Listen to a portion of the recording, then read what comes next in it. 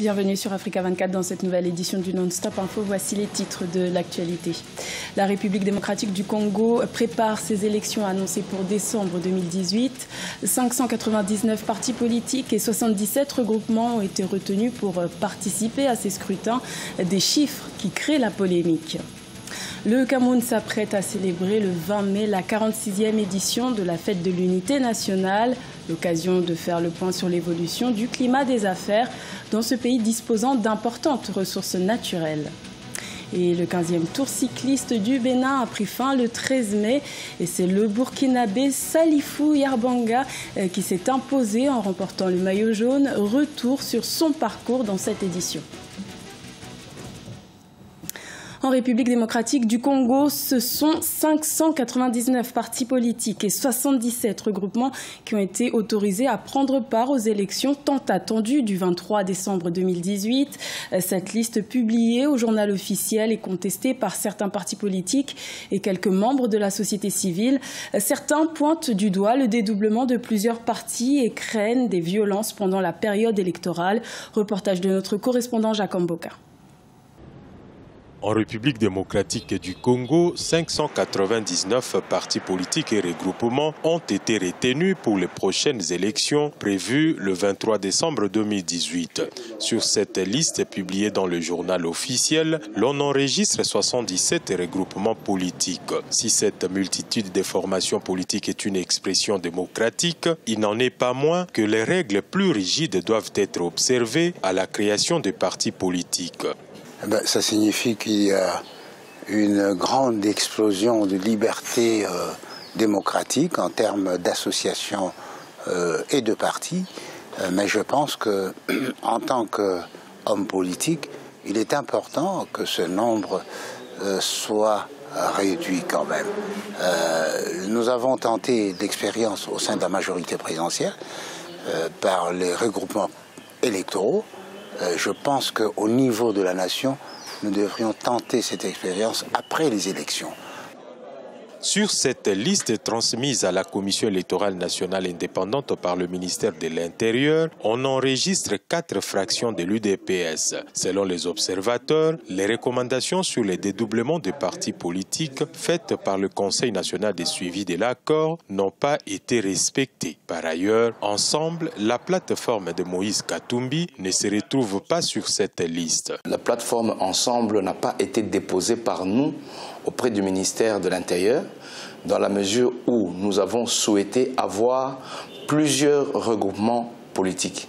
Si jamais nous avions déposé le regroupement ensemble, les partis politiques membres d'ensemble n'auraient pas eu le droit de créer plusieurs plateformes parce qu'un parti politique n'a pas le droit d'être dans plusieurs plateformes. Les scrutins du 23 décembre 2018 s'annoncent donc très serrés. Aucun parti politique, grand soit-il, ne prend le risque d'y aller sans coalition dans un contexte où, en ce qui concerne la députation nationale, il faudra pour le candidat avoir au moins 1% de vote. Il faudrait totaliser pour chaque candidat plus ou moins 400 000 voix sur environ 40 millions d'électeurs. La 46e édition de la Fête de l'Unité nationale approche au Cameroun. Elle sera célébrée le 20 mai, l'occasion de se pencher sur le potentiel économique du pays. Le Cameroun dispose de ressources naturelles propices aux investissements, mais l'activité économique reste freinée par la lenteur administrative. Reportage de notre correspondante Viviane Boken. Le Cameroun, poumon économique et grenier de l'Afrique centrale, essaye depuis quelques années d'évaluer et d'améliorer son climat des affaires et les conditions d'investissement au Cameroun. Le pays le plus peuplé de la zone CEMAC, le Cameroun a signé en 2016 à Abuja un accord commercial avec son voisin le Nigeria. Avec ce type de partenariat, le Cameroun peut propulser son économie avec en plus son vaste marché estimé à plusieurs millions de consommateurs. Il faut savoir que le Cameroun d'abord a une position stratégique au niveau de l'Afrique. C'est un point de raccord entre deux zones économiques, c'est-à-dire la CEMAC et la CDAO. Un marché potentiel d'environ 400 à 500 millions d'habitants. Un marché qui serait comparable à celui des États-Unis. Et le Cameroun a une jeunesse vraiment dynamique qui est de mieux en mieux informée. Le Cameroun a une diversité climatique de ses sols et des sous-sols. Le Cameroun a un riche potentiel minier qui pourra à terme attirer les entreprises dans le secteur de l'industrie dans le secteur des services aussi. Selon les experts, le budget d'investissement du Cameroun, qui oscille autour de 18% du produit intérieur brut, n'est pas à mesure de doper son attractivité. De même, les lourdes fiscales qui restent effectives malgré la loi portant incitation à l'investissement privé au Cameroun et les lenteurs administratives de toutes sortes sont des éléments qui constituent des freins importants à l'investissement dans le pays. Une situation qui n'améliore pas sa position dans le Doing Business, le classement annuel de la Banque mondiale. Alors sur le marché international, euh, quels que soient les secteurs qu'on prend, le Cameroun est assez faible. Déjà, il faut dire que même si on dit qu'il est le leader de la zone CEMAC, il est le premier parmi les plus faibles en fait. il faut le dire comme ça, euh, sans faire la langue de bois. Euh, par exemple, en 2016, selon des indicateurs du commerce en Afrique publiés par la Banque africaine de développement, tandis que le Cameroun, bien sûr, premier pays de la zone CEMAC, vendait en zone CEMAC l'équivalent de 328 millions de dollars, il était dépassé sur ce même marché par la Côte d'Ivoire qui a réussi à y vendre près de 410 millions de dollars. Pour vanter le potentiel économique du pays aux investisseurs, le chef de l'État, Paul Biya, a organisé en mai 2016 un forum économique investi au Cameroun terre d'attractivité. Une occasion unique de recueillir auprès de nombreux acteurs économiques et financiers des propositions concrètes visant à améliorer les conditions d'investissement au Cameroun pour renforcer son attractivité financière à la rencontre de la chanteuse Cécimé, une pépite béninoise qui valorise le rythme de la musique afro-urbaine. Elle prévoit de sortir un troisième album cette année, un portrait à découvrir dans ce reportage de notre correspondant, Lev commenté par Siam Victoria Sidji. Au Bénin, l'artiste chanteuse Cécimé promeut la musique afro-urbaine. Bido ceci, Christelle Guédou, alias Cécimé, est passionnée de la musique et de la danse et a été influencée par des sonorités intitulées à Kodema du village Zakota, une musique traditionnelle alors composée et chantée par son grand-père Robert Guédou.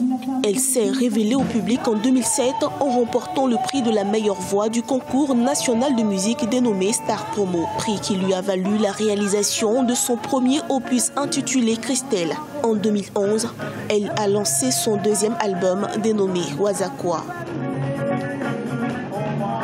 On peut retenir que c'est une jeune femme euh, qui a cru en, elle, qui a vraiment eu foi en, en ce talent, en cette aptitude-là, en ce, cette envie de chanter, d'apporter quelque chose au monde à travers sa voix. En 2012, Cécimé, native de la commune de Convey du département de Zou, a été élue meilleur espoir féminin du continent africain au Cora Music Awards. Elle s'est également fait remarquer lors de sa participation au prix découverte à RFI France 24 en tant que finaliste en novembre 2013. Bido Sissi, Christelle Guédou promeut à travers ses chansons les langues locales telles que le Mina, le Fon le Yoruba. Elle a à son actif une dizaine de singles cultes dont plusieurs collaborations avec des artistes locaux et africains.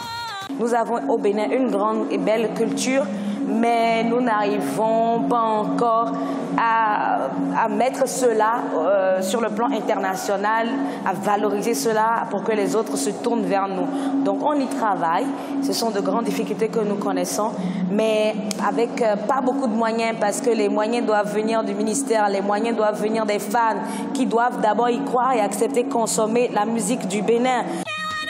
À travers ses chansons, Cécimé sensibilise entre autres les mélomanes sur plusieurs thématiques liées à l'enfance malheureuse, aux violences faites aux femmes et au leadership féminin. Ces chansons véhiculent aussi des messages d'espoir, d'amour et de joie. Elle s'active pour la sortie de son troisième album avant la fin de l'année 2018. Le 15e tour cycliste international du Bénin s'est achevé le 13 mai. À l'issue des 10 étapes de cette compétition, le Burkinabé Salifou Yarbanga a décroché le maillot jaune. Une belle victoire pour ce cycliste burkinabé, mécanicien de profession. Retour sur son parcours dans ce reportage de Leftiounou, commenté par Siam Le Victor le cycliste burkinabé Salifou Yarbanga se révèle dans l'arène du cyclisme international. Il a été sacré champion du 15e tour cycliste international du Bénin en parcourant 586,700 km avec une moyenne de 36,175 km/h. À l'instar d'Abdouaziz Nikema, vainqueur entre autres du 14e tour international de cyclisme du Bénin, Salifou Yarbanga entre dans le cercle des cyclistes burkinabés qui s'imposent dans la sous-région ouest-africaine. Je suis content avec les... Je suis content de la fédération de mon pays ainsi que de toutes les autorités car j'ai bénéficié d'un soutien sans faille qui m'a permis de pouvoir participer à beaucoup de tournois dont voici le résultat. Salifou Yarbanga est un mécanicien amoureux du cyclisme. En l'an 2000, il a décidé de se consacrer au cyclisme. Sa persévérance lui a valu la signature d'un contrat dans un club à Ouagadougou, la capitale burkinabé. Après avoir décroché en 2011 un stage de perfectionnement en France, Salifou Yarbanga a débuté sa carrière professionnelle par l'édition 2012 du Tour du Faso. J'ai pédalé au Tour du Faso 2012. Après le Tour du Faso en 2012, je suis allé en stage en Afrique du Sud grâce à ma fédération. Et c'est tout cela qui m'a permis d'être vainqueur de ce tour. Je suis parmi les leaders et c'est toute une fierté pour moi. Ce sacre au Bénin est une première pour le cycliste Salifou Yarbanga. Âgé de 29 ans, il nourrit de grands rêves. Il entend maintenir le cap pour s'afficher dans d'autres compétitions internationales. Ce journal a été réalisé par l'ensemble de la rédaction. Merci de votre fidélité. Retrouvez dans un instant une nouvelle édition de l'information sur Africa 24.